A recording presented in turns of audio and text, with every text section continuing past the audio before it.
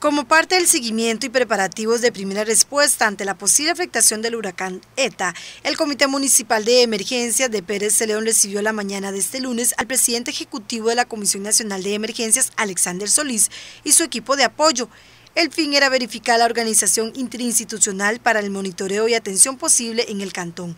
De igual manera, se continúa con la atención debida de la emergencia COVID-19. Es importante la, visita don Alexander. Eh, ante todo, yo creo que nos sirve también de control, eh, de revisar la, forma de organización que hemos estado eh, haciendo durante todos estos meses.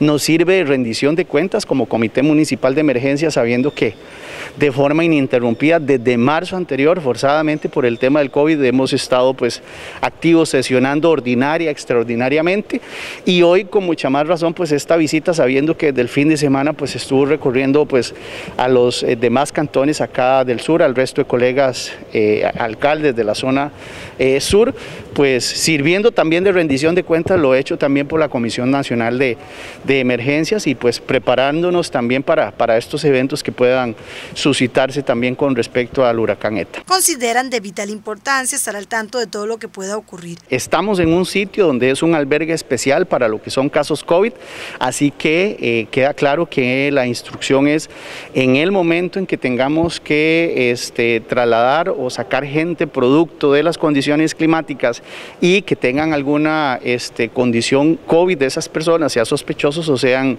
eh, positivos, pues serán trasladados. Eh, a este sitio. Y todos los demás sitios que en esto es la generalidad de las escuelas, de los salones comunales, Carmencita, pues estarán habilitados para lo que son eh, las labores ordinarias producto de las condiciones climáticas que tenemos acá en el cantón. A la cita ocurrieron representantes de diferentes instituciones. Absolutamente, porque creo que en estas situaciones de emergencias la coordinación es como primordial, ¿no? Para que una mano sabe lo que hace la otra y la cooperación entre todos los servicios es esencial. Es importantísimo porque aquí es donde están las bases de todo. Absolutamente, sí, sí.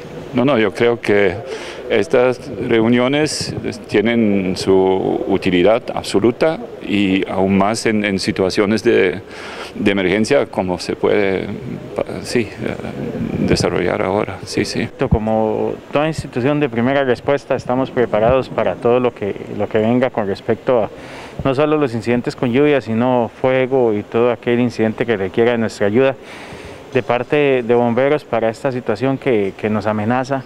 Estamos preparados, tenemos, eh, se ha activado la unidad de rescate en aguas, la tenemos acá en Pérez Celedón, este, y a nivel país estamos eh, preparados para cualquier situación que se presente. Anteriormente eh, tuvimos la experiencia con el huracán Otto, ¿verdad? Que creíamos que iba a ingresar por un lado y al final nos, afectó en el sector de Upala y zona norte.